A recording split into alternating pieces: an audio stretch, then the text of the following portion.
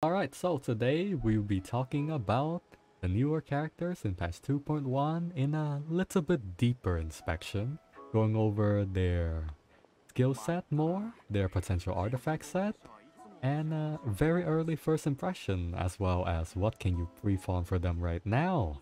All the information I'll be talking about here are available from the official Genshin Impact YouTube channel on their live stream. So yeah, let us begin. Starting off with Baal, the Raiden Shogun, the Electro Archon.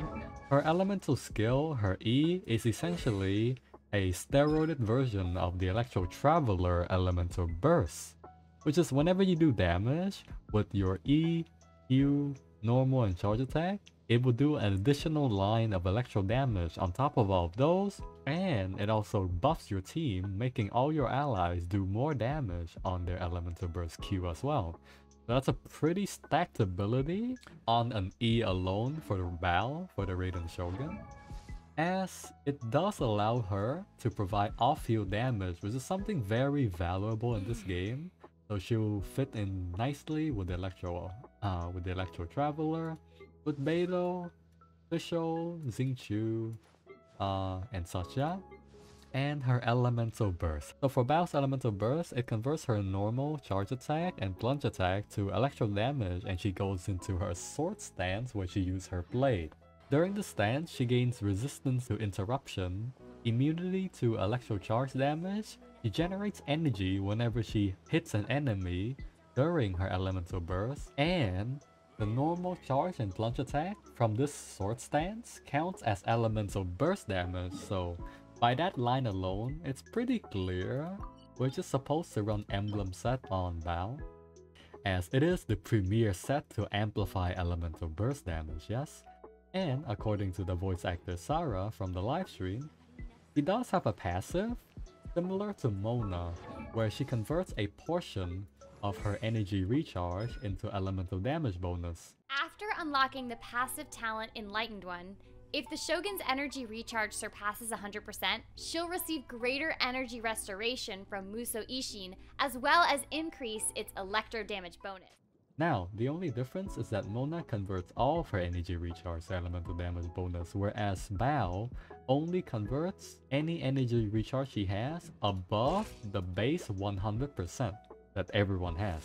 So the bonus may be a little bit less than Mona, but it is quite a good bonus because the extra electro damage bonus on emblem set running a energy recharge timepiece that's already you're probably hitting like 170 to 200 energy recharge already so that's quite a bit of damage. So the reason why you would want to run the emblem set aside from thundering fury noblesse is because thundering fury noblesse only gives you 35% damage bonus on Elemental Burst, whereas you only need at least 150% energy recharge. For it to have a higher elemental damage bonus on your burst than the set because at 150 energy recharge, you'll be gaining 37.5% damage bonus on your burst. Just by building ER on Baal, she will also gain electro damage bonus, so you'll have a shit ton of damage bonus percent from Emblem set from your own passive, and that's quite good, yes? With that said, since her elemental burst changes her auto attack to electro,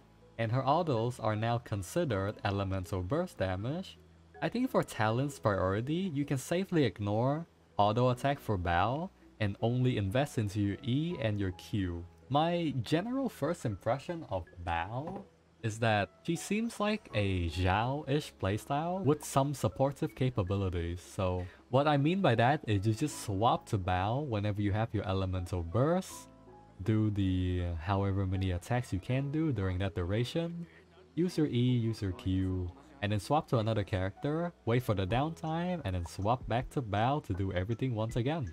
Now, so far, every Archon represents their element, yeah? Venti, the Anemo Archon, has massive crowd control because that's the one thing most Anemo character has. Zhongli is very durable, tanky, uh, because that's what most Geo character are supposed to do with their elemental reactions, right? Crystallize, I know no one really uses it, but it is there. With that in mind, Electro Element isn't ever or wasn't ever well known to be the most damaging element in the game. Compared to the other elemental character, Pyro, Hydro, and Cryo, which has a free way to double their damage with melt and vaporize due to elemental reaction, And Cryo, even with Freeze, with the Cryo set giving you 40% more crit rate at max, so you can push a lot of stat to crit damage. Electro doesn't really have any extra choice right now. Electro reactions such as Electro Charge and Overload are okay at best, but they don't improve the performance of these characters by that much. And mostly Electro Element, the strong ones like Beidou and Fischl, still relies on their raw damage output instead. So, first impression of Baal is she'll be a very good energy recharge, off-field support, and kinda Xiao-ish playstyle with the uh, swap in with ults, but it is still raw damage. And as for raw damage, that would be very, very resin heavy, because you would need quite a bit of good artifacts to really make the most use of Baal. Either that or you spend like a ton of money on the weapon banner to get like the OP 5 star weapon. I'd say she's gonna be a good, strong character. Since she is, I'd say the main star of next patch, they may give her like a lot of damage ratio so that she can make the most use of her raw damage-ish playstyle. Of course, you can kinda pair her up with Xing Xingqiu to do some electro charge and that would kinda work. My current plan is just to do like double electro Xingqiu and maybe an Anemo character for resistance shred for Baal if I'm gonna playtest her out, yeah? This next character we're talking about is Kokomi.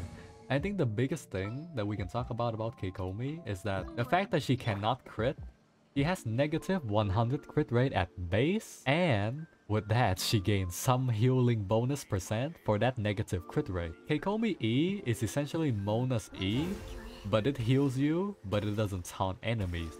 And her elemental burst is, once again, kind of like Xiao, kind of like Noelle, kind of like Razor. She goes into a stance where she does extra damage on her normal and charge attack and also kind of heal allies per se, yeah? But I think that's where it is, really. Let's put it this way.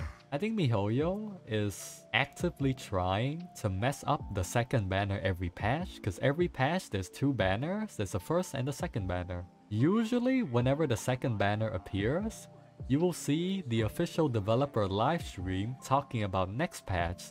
So when Kokomi banner is out, we'll already see characters in patch 2.2. I think MiHoYo is rather content about people skipping Kokomi. Unless she's really waifu to you, I don't see a reason of pulling her. Currently, Kokomi provides nothing but healing based on the information we were given, and that puts her on the same level of Qiqi and Barbara, the characters that provide nothing but healing, yes? The main reason why the current very powerful healers in the game are used is because they provide some things that are not healing alone. So, attack buff, oh. barrier, cleanse, viridescent elemental shred, and maybe elemental application or elemental buff, yeah? They're more offensive healers, the word, yeah? And that's why they are strong. That's why characters like Bennett are super strong. Because a pure healer is only very usable if you're super early on in the game. And the fact that she cannot crit, meaning she may have very high damage ratio, and hopefully she has very high damage ratio because she cannot crit. That would be the only saving grace, because I would see her being a good character for free to play. But I want to ask myself that, do I need a super powerful healer to get through the game early? Or just any healer works and any other DPS, no? For Kokomi, I guess you can run like Beidou, Fischl, Electro Traveler, Baal, or Sara just for Electro Charge builds, yeah? For artifact set for Kokomi, I'd say I would try to run maybe Hydro set just to make the most use of her Hydro damage bonus on normal and charge attack. Or I guess just Maiden set for healing. So, my current thoughts about Kokomi is she's rather lackluster and I'll be honest, I don't think she provides anything new to the game except the fact that you can walk on water, which I don't see how often that'll be useful because you, you know, like at best, how long does your, how long does, how long does the longest elemental burst in the game last? The longest burst in the game, like Infusion, is Xiao, right? It lasts like 15 seconds. Yeah, so I guess at best, maybe 15 seconds floating on water would be kind of cool and all.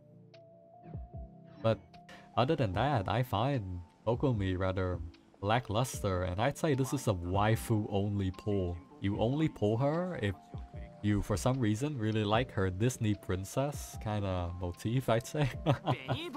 ah, there's the shade. Alright. Next is Sara. Sara, elemental skill, teleports her backwards and gives her a stack which causes her next charge attack to drop a crow feather which provides an attack buff to the character on the field after it explodes on a short delay.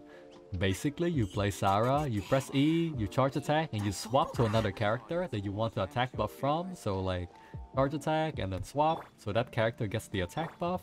And her elemental bursts are massive AoE attacks that covers quite a bit of radius and provide the same attack buff to your team as your E. So she has two instances of attack buff on her entire kit, meaning I would say she can provide quite a bit of uptime on her kit. But the biggest comparison to Sara would be Bennett. And the short answer is no, I do not think Sara will replace Bennett. Bennett isn't used for his attack buff alone, although it is a good reason of it, but he's mainly used because he does everything. He is the fastest energy recharge character in the game because his E is on a 2 second cooldown with the 2 passive he has, yeah? And his ult also cleanses a debuff from you, because it applies pyro to self, so it cleanses debuff, it heals, it provides an attack buff, yeah? Now, for the attack buff portion, there's something that people didn't know about Bennett, which is Bennett's buff, this is a lie, Bennett's buff ticks once a second, and the buff it provides lasts for 2 seconds. That's why Bennett elemental bursts actually have a 14 second duration and 15 second cooldown, meaning it only has a 1 second downtime because of uh, the lingering buff for 2 seconds, which is really obnoxious to be honest, that's really broken. At first everyone thought that you had to stay on the field to receive the buff, but we figured that the buff actually lingers and you can test it out however many times you want and it will appear. Other than that, Bennett only buffs the character on the field at the moment, right? So Sara will just swap to the character that she wants to buff, so only one character at a time as well. Otherwise, you have to snapshot your buff, like snapshotting Beidou, Xiangling, Aika's burst, so they carry on for the entire burst duration and such. But Sara can do pretty much the same thing with Bennett, right? For Sara, it's either gonna be Emblem set for more damage on that huge AoE elemental burst, Noblesse set just for the extra buffing of damage buff, or maybe a little quirky Thunder Fury set for cooldown reduction whenever you proc a electro reaction so you can provide buff more often, so you can provide your buffs more often, or maybe a little quirky Thunder Fury set whenever you proc an elemental reaction to reduce your cooldown on your skill so you can proc that buff more often. My verdict about Sara is kinda like, she doesn't replace Bennett, he's more of like Mona-ish, where it's just damage buff alone, no other utility. Bennett is still a lot more slot efficient because he provides healing and buff at the same time, as we said, right? I really like Sara though, just for many reasons. I guess one of the reasons is that I have a C6 Bennett as well, so it, it made me it made him unusable on you know physical damage comps for me. So Sara may be better on some team comps for me, and another option of attack buff is always nice. Because you go you can only put Bennett on one team in Abyss, not two, so there we go. Another option. Kinda like Sucrose Kazuha situation, I suppose. It works. It's nice. I don't think she'll be completely broken, but I would like to say this now. I think she'll be a character that will see more and more usage in the future because she is a support and currently it's just support impacts right now. You just pull all the OP supports and play any Barbie doll main DPS you want because they're just there to look pretty right? The supports will carry them. That's sadly the uh, the Genshin Impact we're playing right now I think Sara can fit into the majority of team comp because who wouldn't like to receive a great attack buff, yes? And now for the very last character that is coming to PS players, PlayStation players on patch 2.1, that will be Aloy, the uh, collab character from uh, Horizon Zero Dawn. Aloy E throws a grenade like Klee that will then split up to multiple fragments, and it also converts her auto attack to cryo damage. So she'll be doing cryo damage on normal attack. And her elemental burst is just throw a big grenade, shoot it, and then it explodes. And it just does more damage. Aloy will be available for everyone in patch 2.2, but it will be available for PS players only on patch 2.1. And the fact that she is a cryo character, meaning she can make use of Xingqiu and the set